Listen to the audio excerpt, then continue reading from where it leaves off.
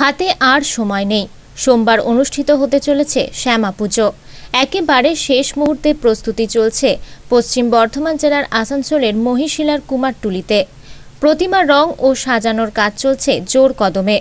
শনিবার কুমারটুলিতে দেখা গেল মৃৎশিল্পীরা চরম ব্যস্ততায় রয়েছেন। এই মহিশিলার সমস্ত কুমারটুলিতে বারোশোটি কালী প্রতিমা তৈরি হয়েছে। বিগত দু বছর করোনা পরিস্থিতির জন্য কোনো রকমে কালী পুজো হওয়ায় মৃৎশিল্পীরা সমস্যায় পড়েছিলেন। তাদের আশা এবছর তারা লাভের মুখ দেখতে পাবেন। নমস্কার, আনন্দ বার্তায় আপনাদের স্বাগত।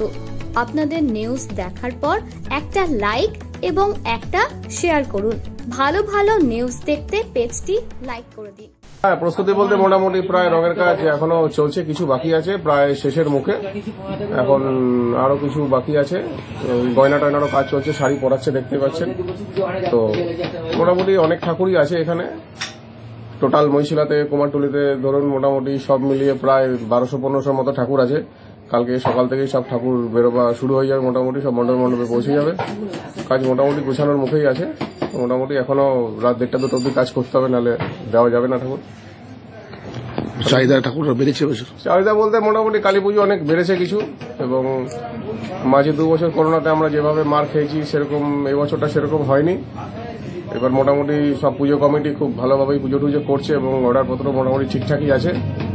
কাজ ঠিকই আছে দাম পাওয়া যাচ্ছে দাম মোটামুটি ঠিকই আছে। আসানসোল থেকে সৌমিত্র গাঙ্গুলির রিপোর্ট আনন্দ বার্তা।